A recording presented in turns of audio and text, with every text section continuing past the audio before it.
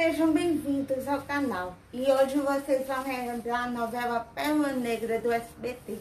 Então, se você quiser saber um pouco mais dessa novela, já se inscreve no canal porque aqui vocês terão novidades toda semana sobre TV, cinema, teatro e muito mais. Ative as agendas se precisar e roda a vinheta. A novela ela conta a história de Pérola, uma moça que foi deixada ainda bebê com 22 pérolas negras, sendo que a 22 seria entregue quando ela completasse 22 anos.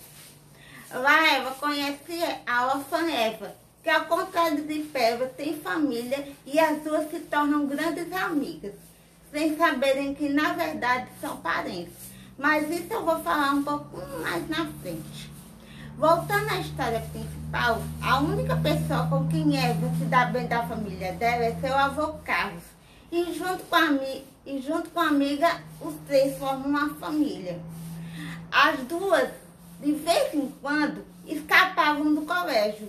E em uma dessas escapadas que elas conhecem Tomás Álvares Toledo, cada uma por vez.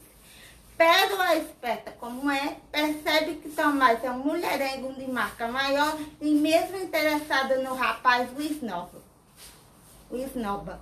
O mesmo não acontece com Eva, que se encanta por ele e engravida. Quando o filho de Eva nasce, ela põe nele o nome de Carlinhos e propõe que ambas sejam a mãe da criança. Como as duas precisavam terminar o colégio, Eva deixa o filho aos cuidados de um casal. Um tempo depois, o avô de Eva morre, deixando a Eva toda a sua fortuna.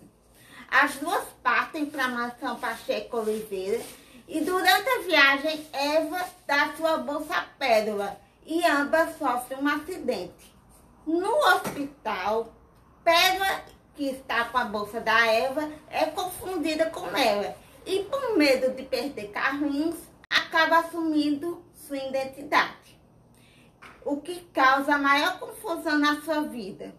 É, ela acaba enfrentando pessoas ambiciosas da família Pacheco Oliveira e o próprio Tomás, que além de ter iludido Eva, é concorrente da neta, que é, que é a empresa da família amiga. Essa é a premissa da novela também contendo vários mistérios, como o da matriarca Rosália, uma mulher que finge ser cega, o que movimenta a trama. Eu disse no, no começo do vídeo que a Eva e a Pérola são parentes, vocês se lembram?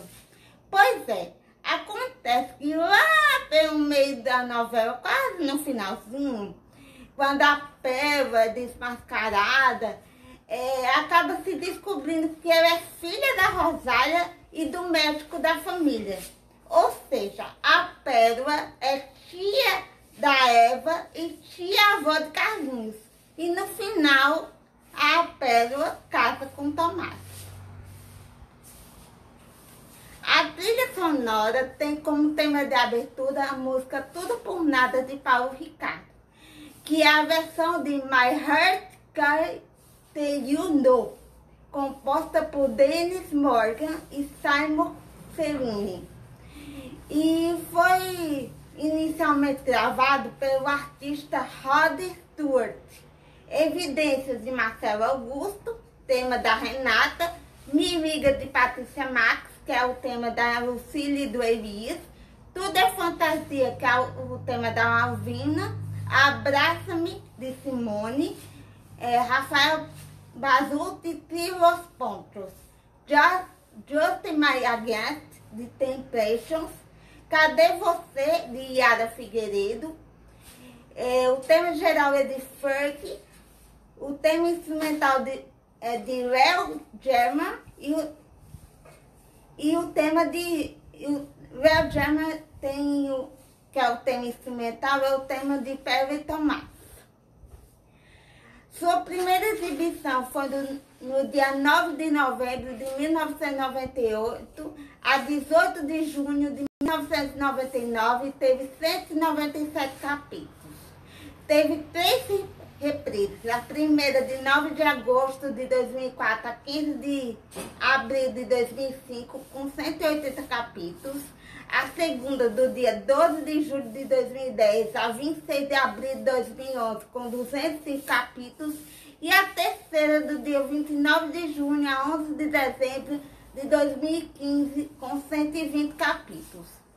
A audiência da primeira exibição teve média de 16 a 19 pontos e na reta final bateu 20 pontos, se tornando-se o maior sucesso do horário. Na primeira reprise, ficou mais de, de uma vez em primeiro lugar, com média de 15 pontos, empata, empatando, empatando com a Rede Globo, que apresentava Terra Nossa, não vale a pena ver de novo. Na segunda reprise, junto com a novela Esmeralda, teve 50% da audiência vespertina. Já na terceira reprise, marcou 8 pontos, mantendo-se na vice-liderança. Negra é uma, é uma trama argentina de Henrique Torres e a adaptação brasileira é de Henrique Zambelli. Bom, gente, esse foi o vídeo de hoje. A fonte de pesquisa está tá aqui na descrição. E se você gostou do vídeo, já se inscreva no canal. Um beijo e tchau.